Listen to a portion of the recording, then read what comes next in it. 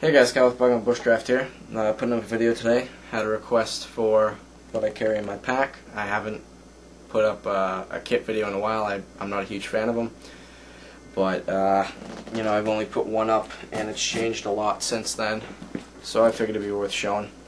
So, uh, pop this open and uh, show you guys what's in here. Alright, well first off, this pack is a uh, Swiss rubberized um, pack. It's got leather straps, back strap. Um, most of the hardware on here is leather and steel. And this actually still has the name of the person before me who uh, used it in the military. But, um, believe it or not, it's a nice pack. It's kind of heavy compared to most packs. And um, it's got a little bit of a metal internal frame here. You can see where they stitched it in. But this actually, believe it or not, does a great job. So this pack, I was for the weight, it's worth it because it's 100% waterproof. But if I was going longer, I'd switch to something lighter. But start off in this front pouch here.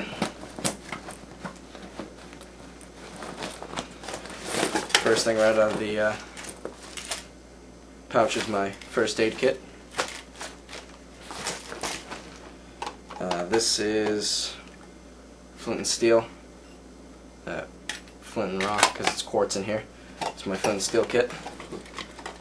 Um, this is a little portable candle uh, made of an Altoids tin. Figured it'd be a nice little thing to have. I'm just kind of experimenting with it right now.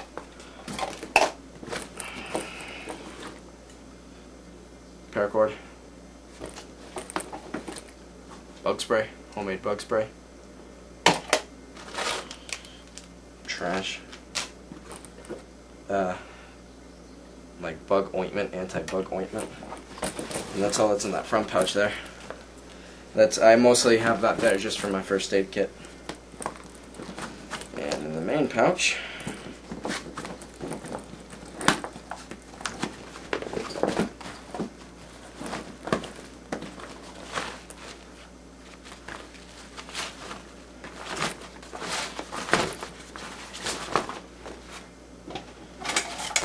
have a. I carry this sometimes. This is a uh, East German mess kit,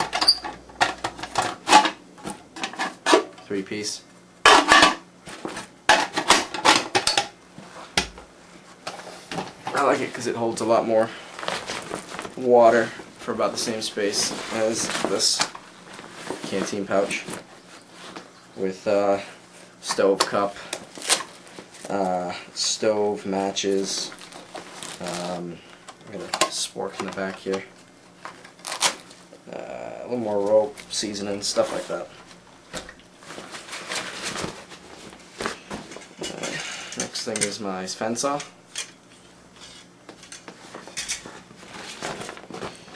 And keep a bivy in here for mostly emergencies. I haven't had to use it yet, but I uh, got it in a trade. And uh, I like it, so I figured I'd throw it in there. It's not that big.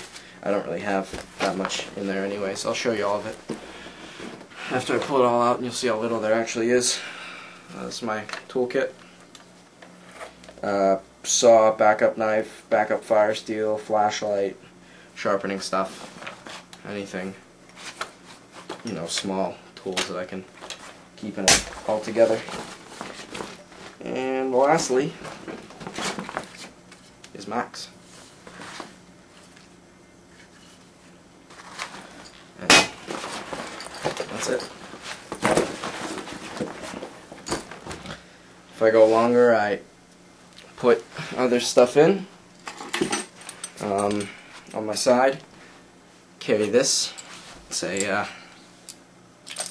my belt belt kit. You just hook it around one of your loops, in your pants and I like to, there's a fire steel on here, I like to tuck it in my pocket so it doesn't rattle around as much. Uh, it's got a pair of leather gloves, uh, the fire steel, uh, a couple things of rope, and a little compass, thermometer, magnifying glass, whistle type combination thing. I kind of just got it as a gift. I mostly just use it for temperature. Um, rope and my knife. So, I keep on my belt. That goes with me anytime I go in the woods. And on my belt, I also either carry a multi-tool of sorts. Um, these are the two ones I really play around with. Uh, Gerber diesel and a Bucklite. Isu. Um, I carry those most of the time. I normally always have a little folding knife in my pocket. This is an Opinel. Number five? Number five. Um, I most always have some sort of paracord bracelets on my wrist if I need them. Uh, a watch for obviously telling time, how long I've been out there, and um, getting directions I ditch. Um, and then I normally have some sort of necklaces on me with more paracord on them for uh, just extra rope. So I'll uh, lay this all out and show you how much I actually carry. So as you can see here, not really all that much. Um, that's what I carry on me most of the time. But for the most part, you know, not not all that much. Normally, if I'm just going out quick, I'll get rid of this. It's even less. Uh, and uh, I'll even sometimes get rid of this.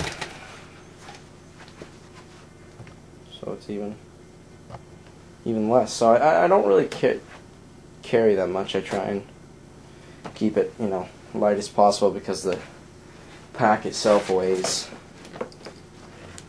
a lot more than I would like, but I like the waterproofing. It really works. So, so that's my uh, my video on my kit. I just figured I'd throw it up there. I had a request for it, um, and uh, I hope that answers any questions. And uh, yeah, so see you in the woods.